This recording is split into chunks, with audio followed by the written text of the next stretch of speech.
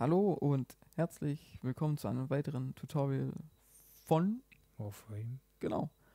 Heute sind wir nach dem 13er Update ähm, da und da gab es eine ganz spannende Änderung im System. Ähm, da gehen wir direkt mal kurz rein und zeigen das euch. Und zwar gibt es jetzt sogenannte Haltung-Mods.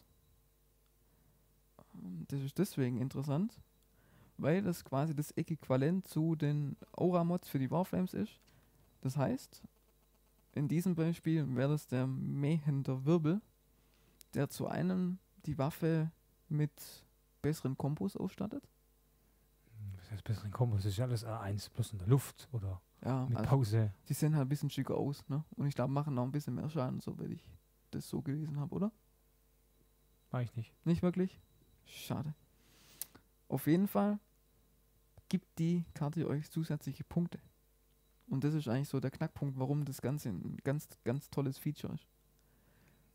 Denn ganz oft kann man wegen ein paar Punkten seine Mods nicht komplett aufleveln. aufleveln. Und denkt dann sich, ach verdammt, ich will jetzt kein Forma einsetzen. Und verdammt, ich will die Waffe jetzt nicht nochmal auf, aufleveln. Und deswegen eine ganz, ganz tolle Sache. Und ja, auch eigentlich ganz easy zu handeln. Das Wichtige wäre nur, es gibt für jeden Waffentyp eine bestimmte Zahl von Haltungsmods. Ne? Und hier könnte man jetzt mal so eine Liste der einzelnen Kombos sehen. Alles A1. Ja, das sind ja. Aha, R1, R1, R1. Ah ja, R1, R1, R1 Pause, R1, R1, okay. Ja. Klingt schwierig, oder? Kriegst du das hin? Nee. Ja, also eine ganz tolle Sache und wir zeigen euch auch mal, wie ihr die ganz einfach in eurem bisher in der Mod-Sammlung findet. Und Gibt- zwar, Was ist die neue Haltungssymbol? genau, eine eigene Kategorie. Als Faustkampf habe ich bis jetzt Doppelschwert.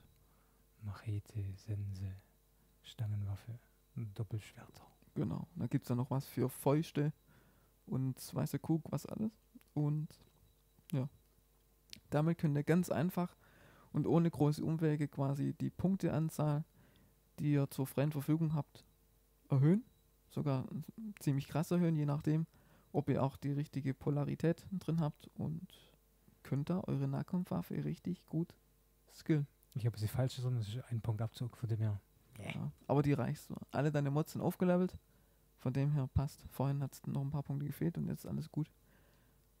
Ne? Kann man jetzt gerade mal kurz zeigen, was deine Dings jetzt an Gesamtschaden macht. Na, krass. Da haben wir, Atlas. ja, aber eigentlich fast 500 Schaden pro, pro Sekunde. Bisschen mehr sogar. So, okay. Das ist richtig, richtig gut. Und tolles Feature. Ruhig, bitte mehr davon. Es wächst. Et Und wächst. gedeiht. Genau. In diesem Sinne, vielen Dank. War diesmal eher ein informatives Tutorial.